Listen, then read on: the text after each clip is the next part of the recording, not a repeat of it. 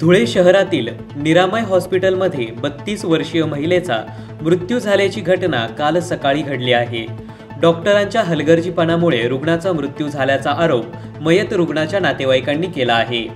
सदरील महिलेला अस्वस्थ वाटू लागल्याने रविवारी दुपारी चार वाजता ऐंशी फुटी रोडवरील निरामय हॉस्पिटल येथे उपचारार्थ दाखल करण्यात आले होते. मात्र अचानक त्यांचा काल सकाळी मृत्यू झाला.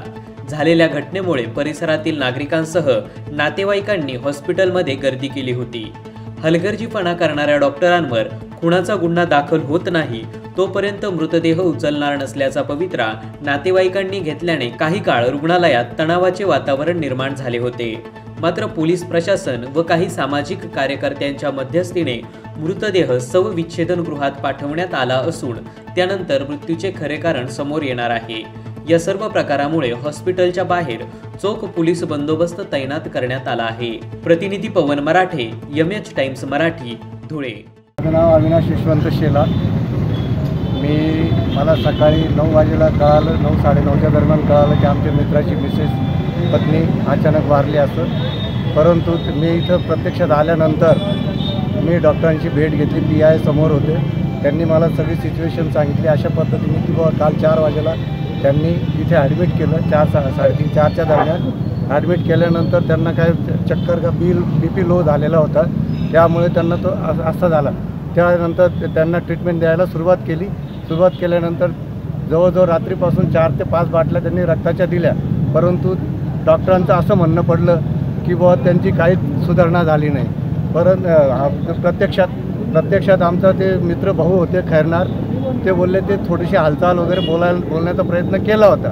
परंतु त्या डॉक्टरांचं दुर्लक्षामुळे मला वाटतं काहीतरी त्यांच्या बिलावरून काही झाल्यामुळे त्यांनी काय सतरा का बारा हजार रुपये काढले तर त्यावेळेस त्यांनी मुलं मुलं आपल्या मित्राच्या मामांनी सांगितलं की आता पाच हजार रुपये घ्या मग तुम्हाला थोड्या वेळात देतो.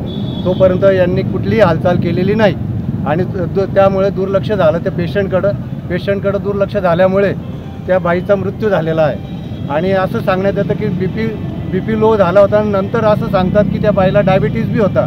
असं यापूर्वी कधी सांगितलेलं नव्हतं की डायबिटीस आहे असं.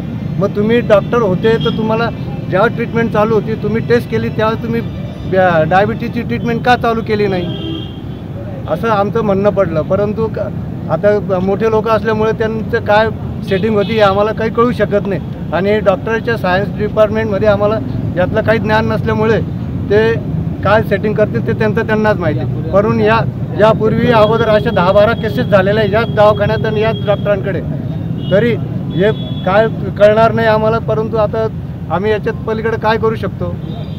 तरी आम्हाला या या डॉक्टरांवर कुठल्याही परिस्थितीत गुन्हा दाखल करावा आणि त्यांना आम्हाला काय नियम जो आहे न्याय न्याय जो आम्हाला मिळावा.